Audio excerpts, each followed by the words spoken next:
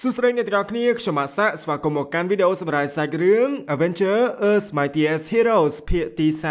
36ដែលនិយាយពីការហែកគោករបស់ Captain America រត់ចេញពីការឃុំឃាំងរបស់ពួក Skrull អេពីសូតមួយនេះគឺចាប់ផ្ដើមឡើងមកជាមួយនឹងបុគ្គលិកនៃអង្គការ A ម្នាក់ឈ្មោះ Lil Gate ដែលគាត់នឹងគឺត្រូវបានពួក Scroll ចាប់ខ្លួនមកដែរហើយនៅទីនោះ Scroll ក៏បានប្រែកាឡាបន្លំធ្វើជាខ្លួនគាត់តែម្ដងចំណែកឯពួក Scroll ទាំងនេះមិនត្រឹមតែអាច copy រូបរាងខាងក្រៅនោះទេគឺពួកវាអាចចម្លងនៅការចងចាំចំណេះដឹងឬក៏សមត្ថភាពពិសេសអីទៀតផង បន្ទាប់មកយើងក៏បាន flashback ត្រឡប់ទៅរយៈពេល2ខែមុនគឺពេលដែល Scroll មកធ្វើការបន្លំខ្លួន Captain America ហើយថ្នាក់លើរបស់គាត់ក៏បានដាក់បញ្ជាមកផងដែរថាតួនាទីនៃ Captain America Scroll នេះគឺបំផ្លាញក្រុម Avenger ឲ្យបែកបាក់គ្នាខ្ទេចនោះឯង ត្រឡប់មកកាន់ Captain America ពិតប្រាកដវិញក្នុងមួយរយៈពេលធំមកនេះគឺគាត់ត្រូវបានពួក Skrull យកមកឃុំឃាំងនិងធ្វើទរណកម្មយ៉ាងខ្លាំងផងដែរពលគឺព្រោះតែពួក Skrull ទាំងនេះមានបំណងចង់សិក្សាពីអត្តចរិតរបស់មនុស្សលោកតែធ្វើយ៉ាងណាទើបពួកគេនឹងព្រមចោះចាញ់និងឲ្យ Skrull គ្រប់គ្រងផែនដីបានប៉ុន្តែចំពោះ Steve Rogers Captain America ម្នាក់នេះវិញទោះជាត្រូវពួក Skrull ធ្វើបាបយ៉ាងណាក៏ដោយតែស្មារតីរបស់គាត់គឺនៅតែរឹងប៉ឹងមិនព្រមចោះចាញ់ជាដាច់ខាត ឃើញបែបនេះមេតប scroll ក៏មានគំនិតចង់ប្រើល្បិចដាក់ Captain America ផងដែរដោយគាត់គឺបានឲ្យកូនចៅប្រែកាឡាទៅជាក្រុម Avengers ធ្វើដំណើរមកជួយសង្គ្រោះ Captain America ពីការឃុំឃាំងប៉ុន្តែពេលនោះ Cap ក៏បាននិយាយថាពួកឯងគិតថាយើងភ្លើខ្លាំងឬក៏យ៉ាងម៉េចភ្លាមនោះ Cap ក៏បានឆ្លៀតឱកាសធ្វើការវាយពួក scroll Avenger ទាំងនោះនិងព្យាយាមរត់ចាក់ចេញពីកន្លែងឃុំឃាំងតែម្ដងហើយគាត់ក៏បានចាប់ scroll ម្នាក់ទៅជាមួយធ្វើជាចំណាត់ខ្មាំងផងដែរនិងបានគម្រាមសួរថាកន្លែងនេះនៅទីណាបន្ទាប់មក Cap ក៏បានរកឃើញថាខ្លួននឹងគឺកំពុងតែនៅក្នុងយានអវកាសដ៏ធំមួយដែលមានទីតាំងក្បែរភពសៅរ៍នៃប្រព័ន្ធព្រះអាទិត្យនេះ បន្ទាប់មកទៀត Cap ក៏បានគេចខ្លួនពីការដេញចាប់តាមរយៈបំពង់ខ្យល់មួយផងដែរនិងបានវាទៅដល់បន្ទប់ឃុំឃាំងមួយទៀតហើយនៅទីនោះគាត់ក៏បានជួបគ្នាជាមួយនឹង Madam Viper នៃអង្គការ Hydra រួចហើយនៅពេលដែលឃើញ Captain America បែបនេះ Viper ក៏បានគិតថានេះគឺគ្រាន់តែជាល្បិចនៃពួក Skrull តែប៉ុណ្ណោះនិងបានរើសដុំថ្មស្រួចមួយធ្វើការវាយប្រហារទៅលើ Captain America តែម្ដងប៉ុន្តែ Cap ក៏បានទប់ទល់ជាមួយនាងយ៉ាងងាយស្រួលនិងព្យាយាមនិយាយជាមួយនឹង Viper ផងដែរថាគាត់នេះគឺជាមនុស្សធម្មតាទេមិនមែនជា scroll ឡើយហើយឥឡូវនេះទោះជាពួក Hydra ល្អឬក៏អាក្រក់ក្តីតែពួកគេគឺត្រូវតែធ្វើការជាមួយគ្នាដើម្បីអាចរត់ចាក់ចេញពីទីនោះបានបន្តមក Cap ក៏បានគម្រាមសួរ scroll ដែលគាត់ចាប់មកនោះពីគោលបំណងរបស់ពួកគេផងដែរថាហេតុអីក៏មកចង់រាតត្បាតគ្រប់គ្រងផែនដី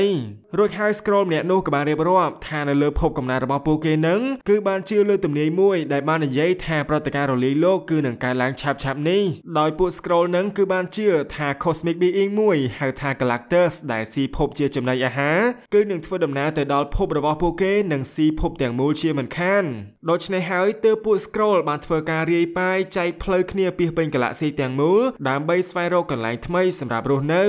រួចគោលដៅរបស់ពួកគេពេលនេះគឺភពផែនដីនោះឯងនិងបានចូលទៅស៊ើបអង្កេតសភាពការអស់រយៈពេល1ឆ្នាំជាងទៅហើយហើយចំពោះស្ថានភាពឥឡូវនេះពួក Scroll គឺបានចូលទៅបន្លំខ្លួនធ្វើជាមេដឹកនាំធំធំនិងអង្គការសំខាន់សំខាន់ជាច្រើនមែនទែនពលគឺដើម្បីត្រៀមខ្លួនរងចាំពេលវេលាស័ក្តិសមមកដល់នោះពួកគេគឺនឹងបញ្ចេញគម្រោងការក្នុងការគ្រប់គ្រងផែនដីទាំងមូលតែម្ដង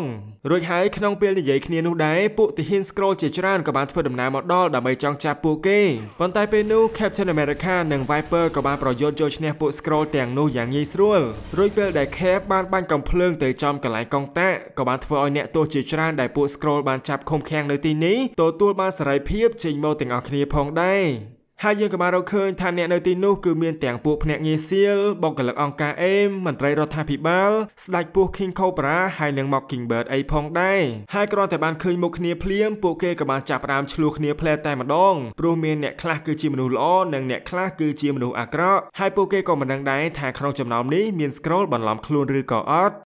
តែពេលនោះដែរ Captain America ក៏បានបង្ហាញខ្លួនមកនិងបញ្យល់ពីស្ថានភាពនៅទីនេះហើយគាត់ក៏បានបន្តថាទោះជាពេញចិត្តឬក៏មិនពេញចិត្តក៏ដោយសំខាន់អ្នកដែលនៅកន្លែងនេះគឺជាមនុស្សធម្មតាដូច្នេះពួកគេគឺត្រូវតែរួបរวมគ្នាតទល់ជាមួយនឹងពួក Scroll ដើម្បីចាក់ចេញពីកន្លែងឃុំឃាំងនេះសិនហើយពេលទៅដល់ផែនដីវិញចង់វាយគ្នាយ៉ាងម៉េចក៏វាយទៅនៅទីនោះដែរ Cap ក៏បានចាប់អារម្មណ៍ឃើញបន្ទប់ឃុំឃាំងមួយទៀតដែលគេរៀបចំសម្រាប់ដាក់ Susan Storm ឬក៏ Invisible Woman ផងដែរពលគឺដោយសារតានាងមានធម៌ពលពិសេសខ្លាំងពេកអញ្ចឹងហើយទើបមានកន្លែងគុកឃុំពិសេសបន្ទាប់មកខេបក៏បានចូលទៅជួយសង្គ្រោះនាងដើម្បីគេចខ្លួនទាំងអស់គ្នាហើយចំពោះ Susan Storm វិញគឺអស់កម្លាំងសន្លប់ស្មារតីឈឹងនិងមិនបានងើបមកវិញនោះទេ